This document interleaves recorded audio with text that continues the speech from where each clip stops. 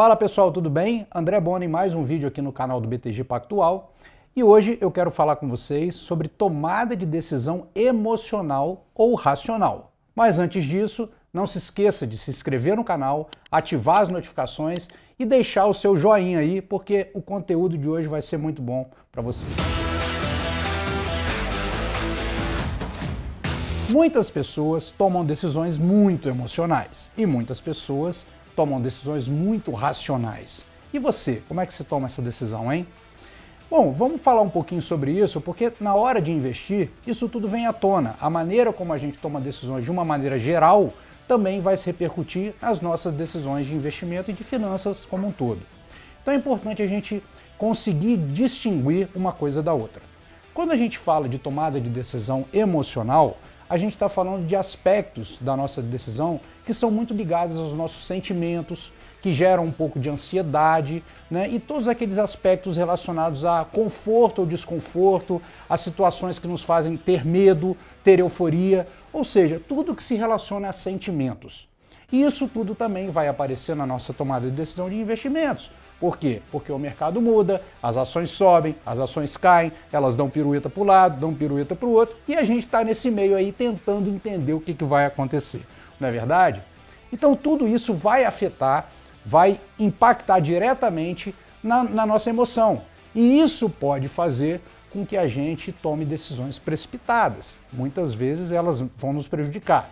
Então é importante a gente entender que não tem como a gente eliminar totalmente a emoção da nossa decisão, mas a gente precisa aprender a conviver com ela. Por outro lado, existe aquele tipo de tomada de decisão que é uma decisão muito mais racional, ela é muito mais elaborada, baseada em determinadas premissas, onde aquele investidor ele tem um certo controle, um autocontrole, uma frieza para nos momentos críticos raciocinar e avaliar o que, que vale a pena, o que, que não vale a pena, se vale a pena mudar uma posição, se vale a pena se manter da mesma maneira como ele desenhou a sua estratégia.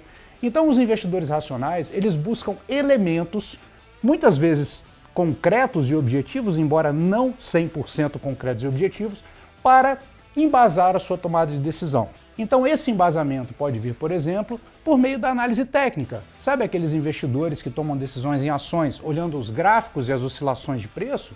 Então, a análise técnica vai ajudar a identificar momentos de compra, momentos de venda, né? E estabelecer critérios objetivos para que seja feito um determinado investimento. Também existem investidores que vão se basear numa análise fundamentalista, que é aquela que se baseia na observação das empresas e como está o desempenho operacional delas e que pode fazer com que elas sejam atrativas no momento de investir.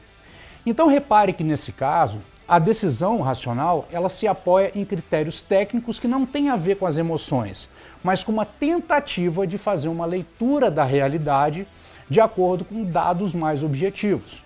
Naturalmente, esses dados não são 100% objetivos e você não vai conseguir eliminar 100% da emoção mas é um tipo de tomada de decisão que tende mais a buscar esses aspectos para que a decisão seja tomada.